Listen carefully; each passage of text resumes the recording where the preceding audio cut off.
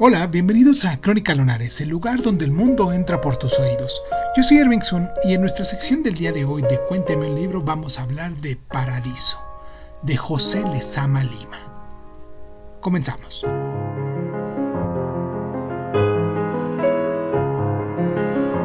Se ha dicho que Paradiso no tolera resumen. Por eso es insuficiente calificarla de barroca saga familiar en la Cuba de finales del siglo XIX y principios del siglo XX, centrada en la figura de José Semí, la historia de sus padres y el relato de infancia y adolescencia y de la relación con sus amigos Foción y Frontesis constituyen un mínimo hilván con el género novelesco tradicional. Todo lo demás excede este marco. Los personajes de nombre simbólico parecen arquetipos que se mueven en la eternidad, lo sensual, lo imaginario y lo intelectual, lo abstracto y lo concreto, lo verosímil y lo inverosímil que se entremezclan continuamente.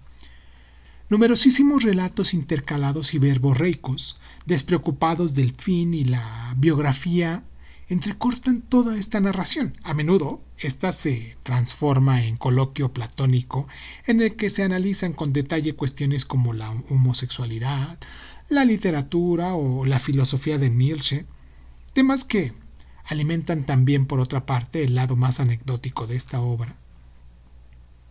Ahora bien, en cualquier momento, los personajes o el narrador que se inmiscuye en la materia e involucra irónicamente a nosotros los lectores,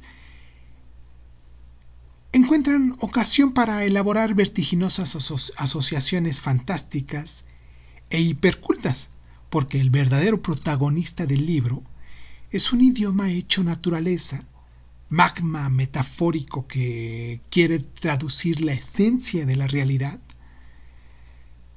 la, lectura se convierte así en perturbadora ceremonia de participación verbal e imaginaria con cada una de las proposiciones de un libro absolutamente fuera de lo común.